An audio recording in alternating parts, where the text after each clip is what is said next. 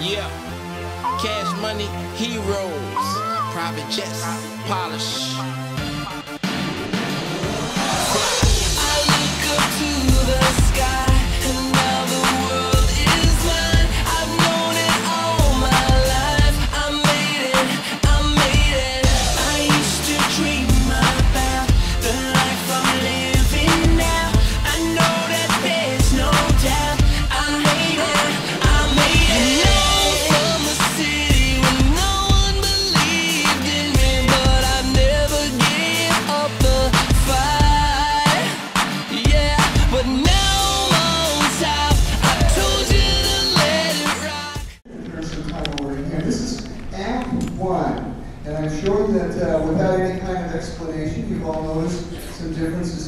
We're going to uh, turn the time over to Amp One, and let's give them a Riverton welcome.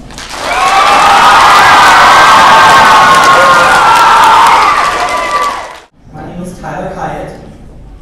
Um, I was four years old and I was riding my bike and just happened to be riding in the road, which I shouldn't have been, and came around a corner and I got hit by a garbage truck. And because of that, uh, the growth plate in my knee was so severely damaged that they actually had to amputate it. Um, So my name is Brian Vincent. Um, I actually I was born like this. I was born with multiple disabilities. My leg missing below the knee, as far as my fingers missing or deformed. I was born with the club foot, which is when you're born with your foot turned out. Um, I basically I've had like 40 surgeries growing up. I didn't mention, but he's actually missing some of his fingers and still plays basketball. That's why he's a chef. I do basketball too. Uh, my name is Myles Davis. I'm from Detroit, Michigan. I lost my leg when I was 10 years old, caused a cancer. My name's Steve Osborn. I live in Mesa, Arizona, where it's really, really hot. So I enjoy it down there. And I lost my leg when I was 14 years old. I was up water skiing behind our parents' boat, and I fell down, and another boat came from behind us, and they weren't watching. and I turned around and ran over me.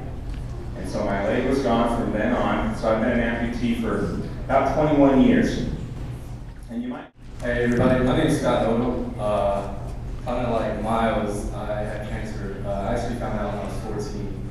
And just like Myles, I was left with the decision I could either keep my leg or I could amputate it. And I have a real passion for basketball, as you can see. So at the age of 14, I decided on my own to amputate my leg. But the cool thing about being an AK is I get to do a cool trick with my leg. Does anybody want to see the trick?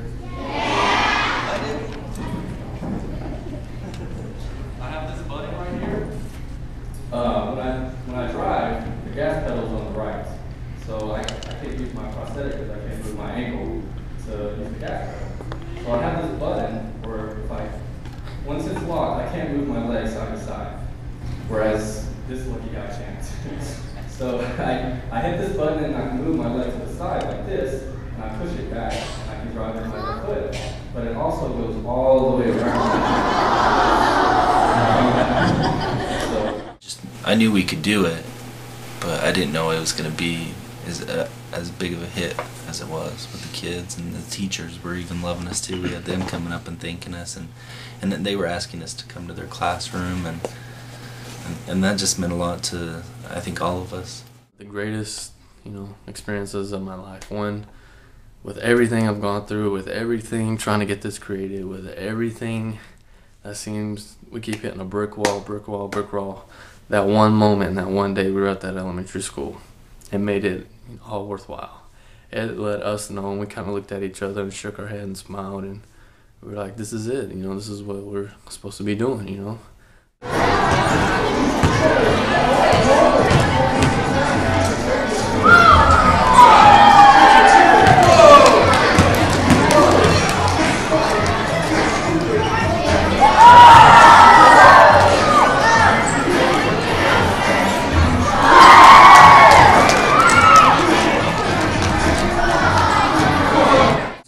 Once we changed our clothes and we were out there and we started playing music and the kids were walking in, all the nerves went away because I was doing what I love to do and play basketball. And I know that we have a lot to show for people. It was just your adrenaline starts pumping, you get into it. It was a lot of fun.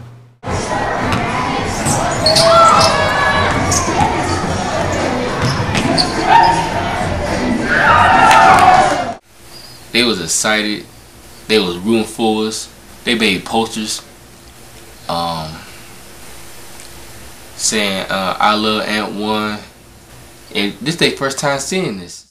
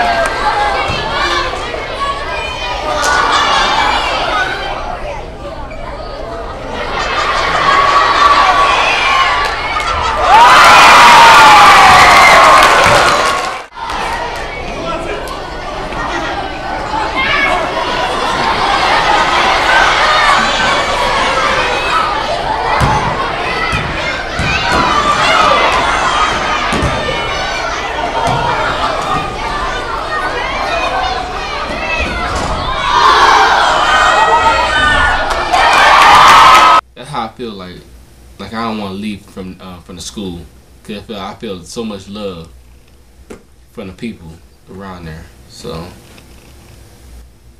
but this whole trip and overall, it really taught me something. Like God did this for a reason.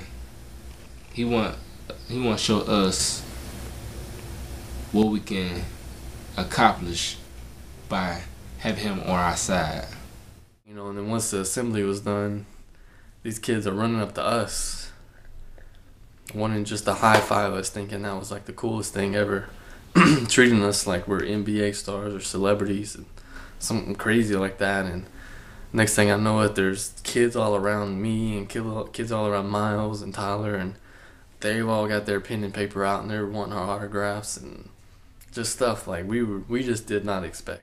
I mean, it felt felt really good. I I just didn't expect it at all. I mean, I expected them to be happy to see us or even wanting to to shake our hand, but I didn't expect them to come out and want autographs and treat us like they were, you know, some superstars when we were, you know, in my eyes, I don't see that yet. Like they loved us, like like we were celebrities already, and that like that warmed my heart up. To the